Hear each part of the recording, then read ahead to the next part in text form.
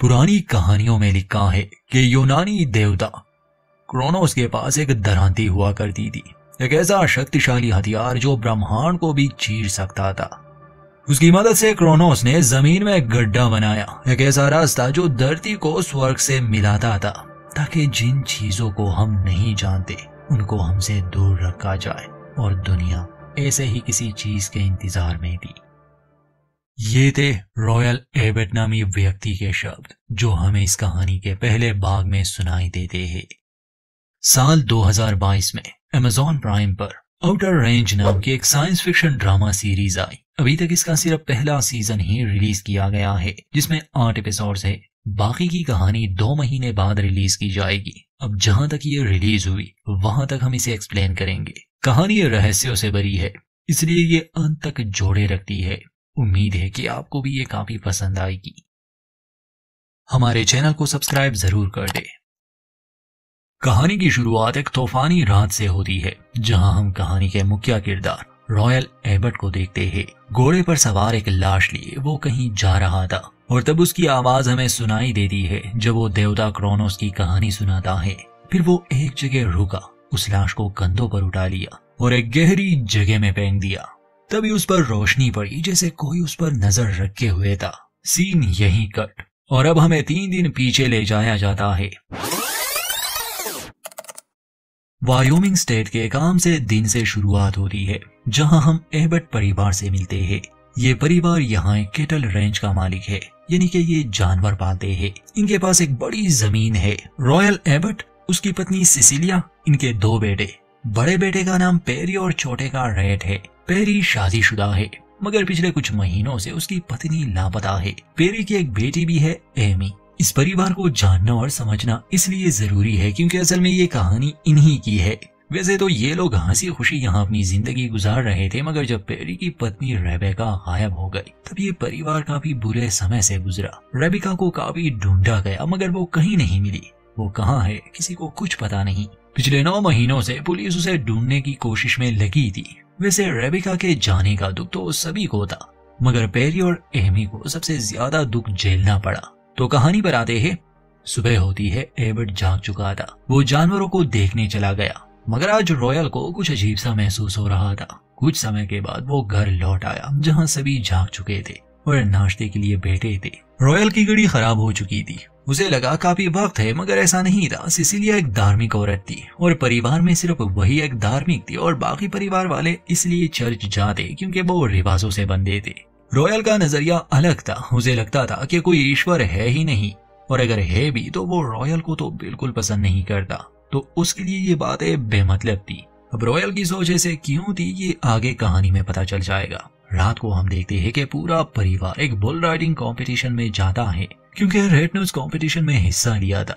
लेकिन आज रात रेड का प्रदर्शन अच्छा नहीं था, जिससे वो काफ़ी निराश था, क्योंकि अब उसे खेल से निकाल दिया गया। रॉयल उसे विश्वास दिलाता है कि वो अगली बार अच्छा करेगा। वहीं पर मारिया नाम की एक स्पेनिश लड़की भी थी, जो रेड को देखकर मुस्कुरा रही थी। वैसे तो ये दोनों हाई स्कूल में एक साथ ही थे, मगर कभी दोस्त नहीं बने। मारिया भी इसी टाउन की है और यहाँ के बैंक में जॉब करती है। खैर, घराने पर। छोटी एमी सिसिलिया से पूछती है कि आप और दादाजी कैसे मिले थे? सिसिलिया बताती है कि तुम्हारे दादा किसी कारण से बचपन में ही घर छोड़कर भाग गए थे। फिर वो मेरे पिता को मिले। मेरे पिता ने उन्हें घर में जगह दी और धीरे धीरे वो हमारे परिवार का हिस्सा बनते गए। उनके आने से मुझे ऐसा लगा जैसे मुझे हमेशा उन्हीं का इंतज़ार था। एबेट की इस कहानी को आप याद रखिए, क्योंकि बचपन में उसके साथ एक बड़ा ही अजीब सा हादसा हुआ था। सिसिलिया जब एमी को ये कहानी सुना रही थी, उसी समय फ़ोन की घंटी बजती है। सिसिलिया फ़ोन उठाती है। दूसरी तरफ़ वैन टिलरसन था। वैन भी चूँकि इस कहानी का अहम हिस्सा है, इसलिए उसे जानना ज़रूरी है। वैन एक अमीर इंसान है। हाँ अब तो वो बूढ़ा हो चुका है और काफ़ी बीमार रहता है। उसका भी एक कैटल रेंज है, मगर उसके पास ज़मीन बहुत ज़्यादा है। एबर्ट परिवार से कई ज़्यादा। ये एक दूसरे के पड़ोसी है, मगर आपस में इनकी बनती ही नहीं, क्योंकि वैन थोड़ा सा सरबिरा है। वैन के तीन बेटे हैं, जिन्हें आगे हम अच्छे से जान जाएँगे। तो कॉल वाले सीन पर आते हैं। सिसिलिया ने फ़ोन उठाया। दूसरी तरफ़ से वैन बड़बड़ा रहा था, जैसे वो इन्हें चेतावनी दे रहा हो कि कुछ बुरा होने वाला है, कुछ आने वाला है। सिसिलिया फ़ोन रख देती है। उसे लग रहा था कि शायद वैन नशे में है। लेकिन दरअसल, वेन ने एक भयानक आवाज़ सुनी थी जो रॉयल को भी सुनाई दी थी। इसलिए वो समझ चुका था कि ज़रूर कोई बात है। रॉयल एबट के बारे में एक बात जान ले। वो एक शांत इंसान है जो राज को राज ही रखता है। तो अब होता कुछ यूँ है कि अगले दिन रॉयल को पता चला कि उसके दो जानवर गायब है ये खबर अपने बेटों को सुनाकर ये लोग उन्हें ढूँढने के लिए निकलने वाले थे। रॉयल और रेड जब एक साथ थे, तभी एक लड़की वहाँ आती है। हुलिये से लग रहा था जैसे वो कोई बेगर लड़की हो, जो यहाँ वहाँ भटक रही है। ये लड़की अपना नाम ऑटम बताती है। कहती है कि मैं यहाँ एबर्ट की ज़मीन ढूंढ रही हूँ क्या मैं आसपास हूँ। रॉयल को लगा शायद ये रेड की कोई जान पहचान वाली हो, मगर रेड उसे नहीं जानता था। रॉयल ऑटम से कहता है कि तुम वहीं पर खड़ी हो। क्या चाहिए तुम्हें? तो वो कहती है कि मैं एक लेखक हूँ। अपने नए किताब के लिए मुझे प्रेरणा चाहिए। तुम्हारी ज़मीन के बारे में मैंने सुना था कि ये बहुत ही शांत और खूबसूरत जगह है। मैं चाहती हूँ कि कुछ दिन यहाँ रुककर अपनी किताब को पूरा करूँ। ये सुनकर रॉयल कहता है कि माफ़ करना, हम यहाँ जानवर पालते हैं। ये टूरिस्ट की जगह नहीं है। ऑटम काफ़ी चालाक थी। वो रॉयल को पैसे देने की बात करती है। तो रॉयल मानने को तैयार हो गया। वो ऑटम से कुछ पैसे लेके कहता है कि तुम हमारी ज़मीन के पश्चिमी इलाके में अपना कैंप लगा सकती हो कुछ दिनों के लिए। इस बारे में रॉयल ने सिसिलिया को कुछ नहीं बताया। उसे लगा, बस कुछ दिनों तक ये लड़की यहाँ पर रहेगी, फिर चली जाएगी। इसके बाद रॉयल पेरी और रेड के साथ अपने जानवरों को ढूँढने निकल गया। और जब वो सीमा पर थे, जिसके आगे वैन की ज़मीन शुरू होती, तब वैन के तीन बेटे वहाँ आ गए बिली ट्रेवर और ल्यूक ये तीनों ही वेन टिलरसन के बेटे हैं। वही वेन जिसने रात में सिसिलिया को फ़ोन किया था। ट्रेवर रॉयल को बताता है कि स्टेट लॉ के मुताबिक, तुम्हारे पास पश्चिम में एक मील तक जो ज़मीन है, वो हमारे हिस्से में आती है। तुम्हारे पास एक महीने का समय है, ये फेंस हटाने के लिए। नहीं तो तुम पर अस्सी हज़ार डॉलर्स का जुर्माना लगेगा। और बात कोर्ट तक पहुँच जाएगी। वैसे तो एबेट और वैन परिवारों के आपस में संबंध अच्छे नहीं थे। काफ़ी समय तक वैन शांत रहा, मगर अब कोई बात उसे परेशान कर रही है और पश्चिमी इलाके को हासिल करने के लिए वो बहुत बेताब है। मानो जैसे वहाँ कोई खजाना छुपा हो। ये कागजात देकर वैन के बच्चे वहाँ से चले जाते हैं। उनके जाने के बाद रेड अपने पिता से कहता है कि हमें वकील को बताना चाहिए। तो रॉयल समझाता है कि ये सब मैं देख लूँगा। फ़िलहाल हमें कोए हुए जानवरों को ढूंढना होगा। तीनों अलग अलग दिशा में जानवरों को ढूँढने लगे। रॉयल पश्चिम में आगे बढ़ रहा था। वो अकेला था और अचानक उसे एक भयानक आवाज़ सुनाई दी। आवाज़ का पीछा करते हुए वो एक जगह पहुँचा।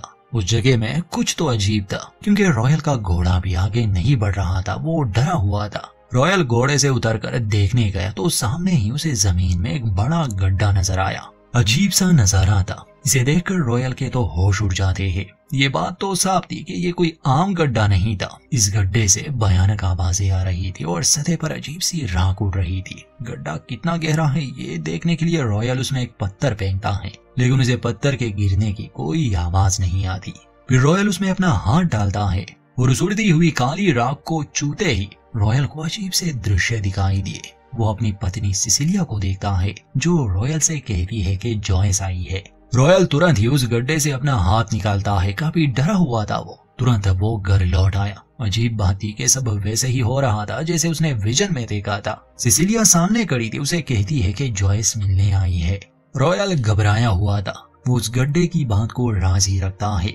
घर पर ऑफिसर जॉयस आई थी। उन्हें बताने के एफबीआई रेबिका के केस को बंद कर रही है। जॉयस कहती है कि हमने अपनी तरफ़ से पूरी कोशिश की, लेकिन नौ महीने गुजरने के बाद भी रेबेका की कोई खबर नहीं। पेरी बिल्कुल टूट चुका था, क्योंकि पुलिस ही उसकी आखिरी उम्मीद थी, उसे काफ़ी गुस्सा आता है। वैसे रेबिका पेरी, यानी अपने पति और अपनी बच्ची से बहुत प्यार करती थी। ऐसा नहीं हो सकता कि वो इन्हें छोड़कर किसी और के साथ भाग गई हो, मगर बाकी सबको यही लग रहा था। जाते जाते जॉयस ये कहकर चली जाती है कि तुम लोग अपनी तलाश जारी रखो, जैसे ही कुछ पता चले, हम ज़रूर तुम्हारी मदद करेंगे। और मैं भी इसी केस पर लगी हूँ। अगले दिन रॉयल फिर से उस जगह जाता है जहाँ वो गड्ढा प्रकट हुआ था। रॉयल उस गड्ढे को मिट्टी से भरने की कोशिश करता है, मगर ये कोई साधारण गड्ढा नहीं था, इसे भरा नहीं जा सकता। उसे छुपाने की भी कोशिश करता है, मगर उसमें भी वो नाकाम ही रहा। उसे में आकर वो चिल्लाने लगा। निराश हो के वो ऑटम नामी लड़की से मिलने जाता है, जिसने इनकी ज़मीन पर अपना कैंप लगाया था। रॉयल ऑटम से पूछता है, कि क्या किसी को तुम्हारे यहाँ होने की खबर है? ऑटम जवाब देती है कि चिंता मत करो, मैं यहाँ सुरक्षित हूँ। दरअसल रॉयल आया था उसे ये बताने कि वो इस इलाके में ज़्यादा ना घूमे वो नहीं चाहता था कि ऑटम को उस गड्ढे के बारे में पता चले। इसलिए वो उसे खास इलाके से दूर रहने के आदेश देता है। ऑटम कहती है कि मैं तुम्हारी ज़मीन खरीदना चाहती हूँ। रॉयल बताता है कि ये ज़मीन उसकी पत्नी की है। ये सौ सालों से उसके परिवार का हिस्सा है। वो इसे कभी नहीं बेचेगी। ऑटम उसे ज़मीन के लिए छह मिलियन डॉलर्स देने को तैयार थी। इस पर रॉयल हंसकर कहता है कि मैं कैसे मान लो तुम्हारे पास इतना पैसा है? तो ऑटम कहती है कि ये तो मेरा एक राज है, जो मैं तुम्हें बता सकती हूँ अगर तुम मुझे अपना कोई राज बताओ। क्या तुम्हारे पास कोई राज है रॉयल? रॉयल इसका कोई जवाब नहीं देता, लेकिन ऑटम की मुस्कुराहट में कुछ तो अजीब था। ये लड़की जैसे लगती है, वैसे है नहीं। शाम को रॉयल घर वापस आया। वो देखता है कि सिसिलिया परेशान थी। कहती है कि शायद रेबेका वापस नहीं आएगी। वो हमेशा के लिए जा चुकी है। रॉयल कहता है कि अब भी तुम यही कहोगी कि ये सब ईश्वर की मर्ज़ी है। तो सिसिलिया कहती है कि हाँ क्या तुम्हें ऐसा नहीं लगता? तो रॉयल कहता है कि नहीं, मैं नहीं जानता। आज पैरी बहुत परेशान था। इसलिए रेड उसे टाउन के बार में ले गया था कि वो अपने गम को बुला सके। खैर, बार में मारिया भी आई थी। रेड मारिया को बचपन से ही पसंद करता था, लेकिन कभी उसे बता नहीं पाया। पेरी रेड से कहता है कि उसे मारिया को बता देना चाहिए। यही मौका है। उस समय मारिया असल में वैन के बेटे ट्रेवर के साथ आई थी। अब दोनों में कुछ चल रहा था या नहीं, इसका पता रेड को नहीं था। कुछ देर बाद मारिया खुद रेड के पास आई। जब ये दोनों बात कर रहे थे, पेरी बाहर चला गया, क्योंकि उसने बहुत पी रखी थी। अचानक उसका ड्राइवर से झगड़ा शुरू हुआ। रेड का ध्यान गया तो वो तुरंत ही बाहर आता है। उन दोनों को चुड़ाता है, जिससे पेरी झगड़ा कर रहा था। असल में वो वेन का ही बेटा है। रेड ने ड्राइवर की नाक तोड़ दी थी। रेड अपने भाई को घर ले जाना चाहता था। उस समय बाहर कोई नहीं था। चाबी लेने जब रेड अंदर गया तो ड्राइवर पेरी से फिर झगड़ा करने लगा। वो पेरी से कहता है कि पहले मुझे बुरा लग रहा था। कि मेरे पिता तुम्हारी ज़मीन तुमसे छीन रहे हैं, लेकिन अब हम तुम्हारा सब कुछ छीन लेंगे। और अगर तुम एक मर्द होते तो तुम्हारी पत्नी कभी तुम्हें छोड़कर ही ना जाती। ये सब सुनकर पेरी भड़क जाता है। इस बार पेरी इतना बेकाबू हो गया कि वो ड्राइवर को मौके पर ही मार देता है। उसे मारने के बाद पेरी उसे हैरानी से देख रहा था। रेड जब गाड़ी लिए वहाँ आया और देखा कि पेरी ने ट्रेवर को मार दिया है, उसके पैरों तले ज़मीन खिसक जाती है। किसी ने इन्हें नहीं देखा, इसलिए ये लाश को गाड़ी में डाल देते हैं और वहाँ से निकल जाते हैं। अब पेरी का भी डरा हुआ था। नशे की हालत में उसने कत्ल कर दिया। अब उसे एहसास हुआ। मगर रेड उसे शांत करता है, हौसला देता है कि सब ठीक हो जाएगा। हॉस्पिटल या पुलिस स्टेशन के बजाय ये लोग अपने घर आते हैं और गाड़ी को गिराज में खड़ी कर देते हैं। इनके पिता को जब इस बात का पता चला, वो भी काफ़ी घबरा गए। अगर ये लोग पुलिस को बताएँगे तो इनकी ज़िंदगी खत्म हो जाएगी। पेरी अपना जुर्म कबूल करने के लिए तैयार था। लेकिन रॉयल कहता है कि अगर पुलिस को पता चला तो तुम दोनों जेल जाओगे। और मैं नहीं चाहता कि मेरी पोती अपने माँ के बाद अपने पिता को भी खो दे। कुछ समय के लिए रॉयल सोचता है, फिर अपने बच्चों से कहता है कि मैं ये संभाल लूँगा। बस तुम दोनों किसी को कुछ मत बताना, हम एक झूठी कहानी बनाएँगे। वैसे भी किसी ने तुम दोनों को नहीं देखा। रॉयल पेरी को घर पर रहने और रेड को गाड़ी साफ़ करने को कहता है। वही बार में ल्यूक अपने बाई ड्राइवर को ढूंढ रहा था। बाहर उसे थोड़ा खून और रेड का बेज मिल जाता है। सिर्फ़ मारिया ने देखा था कि रेड ट्रेवर और पेरी का झगड़ा खत्म करने गया। बाकी किसी ने नहीं देखा कि पेरी ने ट्रेवर को मार दिया। मगर ल्यूक का सारा शक एबर्ट के बच्चों पर आ गया। इसलिए वो और बिली रॉयल के घर आते हैं। पेरी दरवाज़ा खोलता है। ल्यूक रेड को ढूंढ रहा था। पेरी कहता है कि मुझे नहीं पता रेड कहाँ है। वो दोनों वहाँ से जा रहे थे कि तभी ल्यूक को ट्रक के टायर्स के निशान दिखते हैं, जो गैराज की तरफ़ जा रहे थे। ल्यूक उसे खोलने को कहता है। पेरी डरा हुआ था, क्योंकि अंदर वो गाड़ी थी और शायद खून अब भी हो तो चाबी लेने वो घर जाने की बात करता है। मगर ल्यूक चालाक था, वो और बिली दरवाजे के लॉक को तोड़ देते हैं। खुशकिस्मती से रेड ने गाड़ी को साफ़ कर दिया था। रॉयल घोड़ा और ड्राइवर की लाश लिए निकल चुका था। हाँ वहाँ घोड़े का वेस्ट पड़ा था, जिससे दोनों भाइयों को शक होने लगा कि कोई घोड़े पर सवार यहाँ से निकल चुका है। इसलिए ये दोनों भाई अपनी गाड़ियों में उसका पीछा करते हैं। अंधेरा था, इसलिए ये जानना मुश्किल था कि वो कहाँ गया है, और वैसे भी रॉयल काफ़ी दूर आ चुका था। यही इस कहानी का वो पहला सीन है जहाँ हमने रॉयल को देखा था, जब वो लाश ले जा रहा था। रॉयल ने दूर से ही टेलरसन के बेटों की गाड़ियाँ देख ली थी, इसलिए उसने अपनी दिशा बदली। वो घोड़े से उतरा, लाश को फेंस के उस पार फेंक दिया। मगर जब वो खुद फेंस को पार कर रहा था, उसकी शर्ट वहीं रह जाती है और उसकी पीठ पर खरोचे आई वो ड्राइवर की लाश को लेकर उस गड्ढे के पास पहुँच गया था। वो लाश को गड्ढे में फेंक देता है। ये सोचकर कि अब किसी को भी इस बारे में पता नहीं चलेगा। लेकिन तभी रॉयल पर रोशनी पड़ती है। ऐसा लग रहा था जैसे ल्यूक और बेरी ने उसे ढूंढ लिया। लेकिन दरअसल ये ऑटम थी, जिसने रॉयल को ट्रेवर की लाश ले जाते देख लिया था। वो रॉयल से पूछती है कि ये सब क्या है? रॉयल कहता है कि मैं नहीं जानता।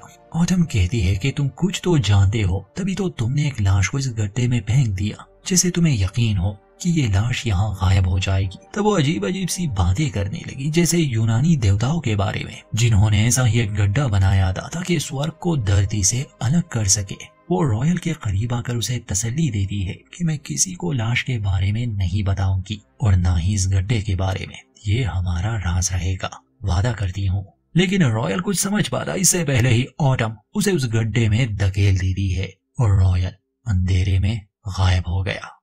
यहीं पर पहले एपिसोड का अंत होता है।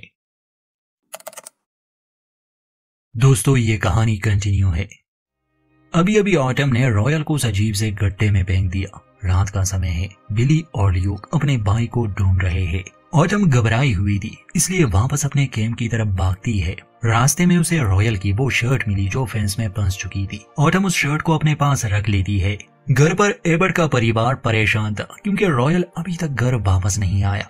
उन्हें डर था कि कहीं ऐसा तो नहीं कि ट्रेवर की लाश के साथ वो पकड़ा गया हो, या फिर ल्यूक, या फिर बिली ने उसे मार दिया हो। अब सिसिलिया को भी कत्ल के बारे में पता चल चुका है, इसलिए वो अपने बेटों को हिम्मत देती है कि सब ठीक हो जाएगा, उन्हें डरने की ज़रूरत नहीं, वो कोई ना कोई रास्ता निकाल लेंगे। पूरी रात इन्हें नींद नहीं आती। सुबह मौसम खराब था बारिश हो रही थी, और अचानक से हम रॉयल को एक मैदान में देखते हैं। उसे होश आ चुका था। हालाँकि वो गिराउस गड्ढे में था, मगर वो फिर भी यहाँ था। अच्छी बात ये थी कि ना तो वो किसी दूसरी दुनिया में पहुँच गया था, ना ही किसी और समय में, बल्कि वो अपनी ही दुनिया और अपने ही समय में था, क्योंकि उसका घोड़ा अभी भी वहाँ था। इसलिए वो घोड़े पर सवार अपने घर वापस आया। मगर इस बार उसकी एक टांग जख्मी हो गई थी। हालाँकि गड्ढे में गिरने से पहले बस उसकी पीठ पर कुछ खरोचे आई थी। घर आते ही वो पूरी तरह से बीगा हुआ था। उसके बच्चे और पत्नी हैरानी से देख रहे थे। पूछते है की आखिर तुम कहाँ थे? रॉयल बताता है कि उसने लाश को टिकाने लगा दिया है। पेरी पूछता है कि क्या लाश हमारे ज़मीन पर है? तो रॉयल जवाब देता है कि ये सब सोचने की ज़रूरत नहीं। ज़रूरी ये है कि वो लाश अब जा चुकी है। वो किसी को नहीं मिलने वाली। अब कल से हम हमेशा की तरह अपना काम करेंगे, ताकि किसी को हम पर शक ना हो। रेड पूछता है कि उस लड़की का क्या? जिस पर सिसिलिया और पेरी हैरान थे, क्योंकि उन्हें ऑटम के बारे में नहीं पता था। पेरी पूछता है कि कहीं उसने आपको देखा तो नहीं? रॉयल कहता है कि नहीं। तब सिसिलिया कहती है कि उस लड़की को मेरे ज़मीन से बाहर निकालो। इतने में छोटी एमी भी जाग गई। पूछती है कि आखिर हो क्या रहा है? वो लोग उसे कुछ बताना नहीं चाहते थे। रॉयल के पैर से खून बह रहा था। एमी कहती है कि ये कैसे हुआ? रॉयल समझाता है कि वो ठीक है।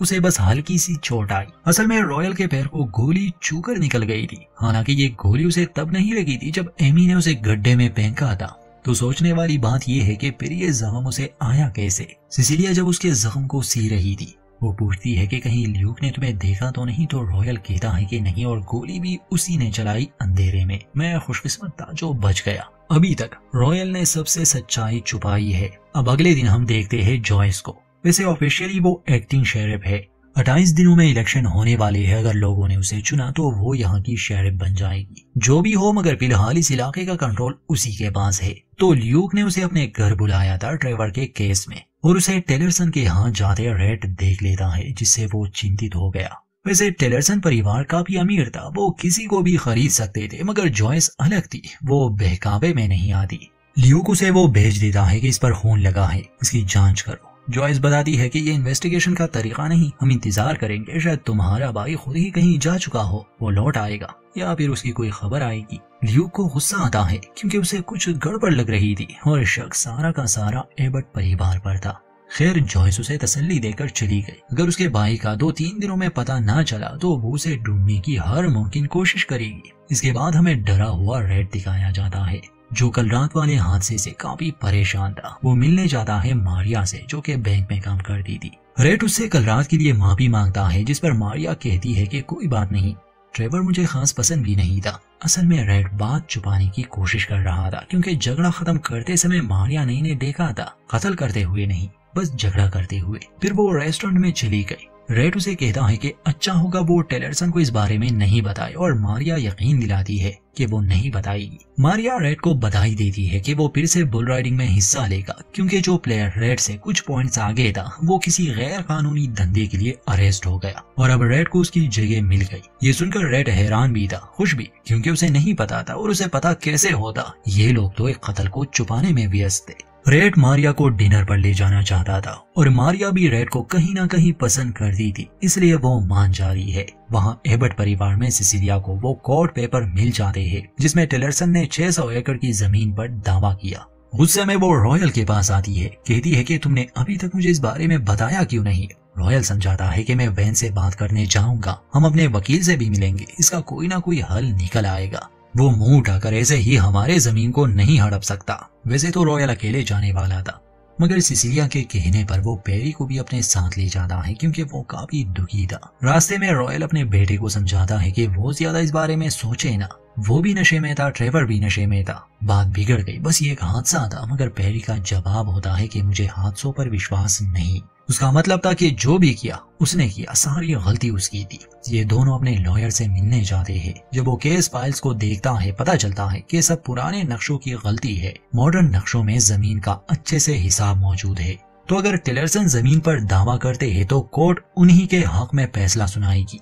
वकील भी रॉयल को मशवरा देता है कि तुम्हें वो ज़मीन उसे दे देनी चाहिए। टिलरसन कभी हारते नहीं, मगर रॉयल को उनसे नफरत थी। और इतनी आसानी से वो अपनी ज़मीन देने के लिए तैयार ही नहीं था, क्योंकि तीन पुश्तों से ये ज़मीन उनके पास थी। इसके बाद रॉयल मिलने जाता है खुद वैन से उसके घर। वो उसके सामने एक प्रस्ताव रखता है कि मैं तुम्हें 200 एकड़ ज़मीन दक्षिण में दे दूँगा, मगर वैन को सिर्फ़ पश्चिमी ज़मीन ही चाहिए थी। वैन अपनी जीत पर अड़ा रहा, कहता है कि वहाँ मेरी जवानी की यादें हैं। पर असलियत कुछ और ही थी। मानो जैसे वो जानता हो, वहाँ कुछ खास है। रॉयल उस ज़मीन को किसी भी हाल में देने वाला नहीं था, और अब वो बुरा बसा। वहाँ ऑटम आसपास के इलाके में घूम रही थी, वो जंगल में चली जाती है, जहाँ एक पत्थर पर उसे निशान मिलता है, और उसे निशान को देखकर वो काफ़ी हैरानी से खड़ी थी। उसके गले में एक लॉकेट भी है जो बहुत खास है। तभी छोटी एमी वहाँ आती है, असल में वो हाइकिंग पर आई थी। दोनों एक दूसरे से मिलते हैं, कुछ बातें होती है। परेशान रॉयल ऑटम के टेंट में गया। उसकी तलाशी लेता है, वहाँ उसे पत्थरों के कुछ नमूने मिल जाते हैं। और जब रॉयल टिलरसन के यहाँ गया था, वहाँ उसे एक माइनिंग कंपनी का कार्ड भी मिला था।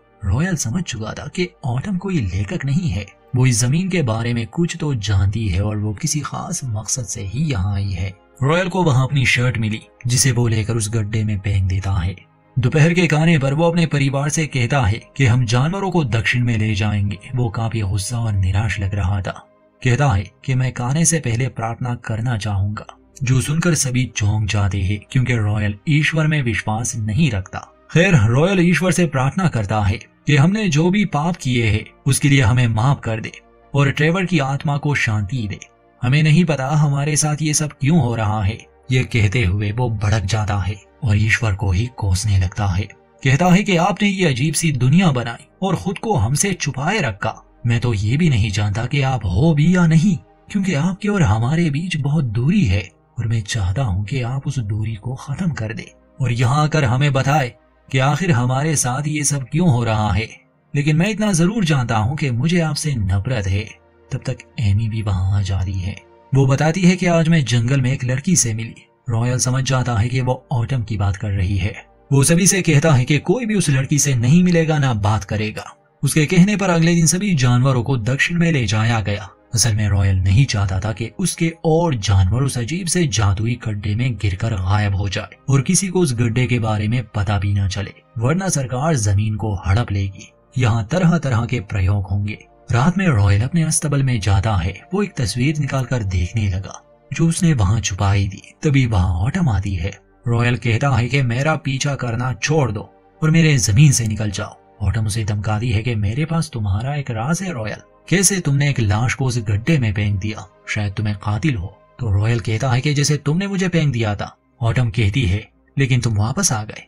मुझे बताओ, तुमने ये सब कैसे किया? तुमने वहाँ क्या देखा? रॉयल को उस पर शक हो रहा था कि शायद वो सरकार के लिए काम करती है या फिर वो किसी कल्ट का हिस्सा है। लेकिन ऑटम इससे इनकार करती है। वो रॉयल से पूछती है कि तुम्हें अपने बचपन के बारे में क्या याद है? जब तुम नौ साल के थे क्या तुम्हें याद है उससे पहले तुम्हारे साथ क्या हुआ था? रॉयल कहता है कि आखिर तुम ये सब क्यों पूछ रही हो? ऑटम कहती है कि मुझे अपने बचपन के बारे में कुछ भी याद नहीं था, खासकर जब मैं नौ साल की थी। उससे पहले जो भी हुआ, मुझे याद ही नहीं, लेकिन जब से मैं यहाँ आई हूँ, मुझे चीज़ें याद आने लगी है। क्या तुम किस्मत पर विश्वास रखते हो, रॉयल? मुझे लगता है कि कोई चीज़ है जो मुझे यहाँ खींच ले आई है। कुछ ऐसा जो मेरे और तुम्हारे समझ से बाहर है।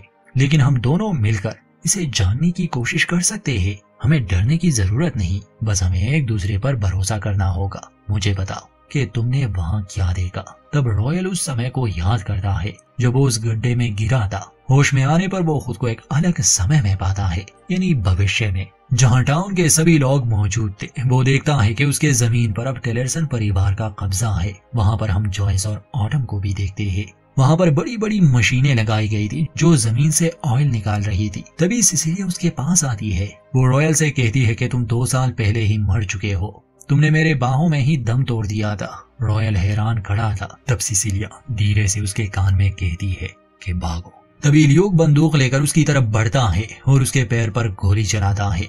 गोली चूकर निकल गई। और यहाँ हम जान गए कि रॉयल कैसे जख्मी हुआ था। तभी वहाँ पुलिस वाले भी आते हैं। सभी रॉयल को पकड़ना चाहते थे, मगर रॉयल उस गड्ढे की ओर भागता है और बिना सोचे उसमें कूद जाता है। आगे की कहानी हमें मालूम है कि वो अपने समय में आ गया था।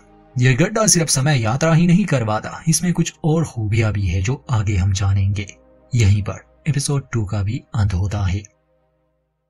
ये कहानी कंटिन्यू है दोस्तों। चैनल के साथ जुड़े रहिए और इसे लेकर अपनी राय ज़रूर दे।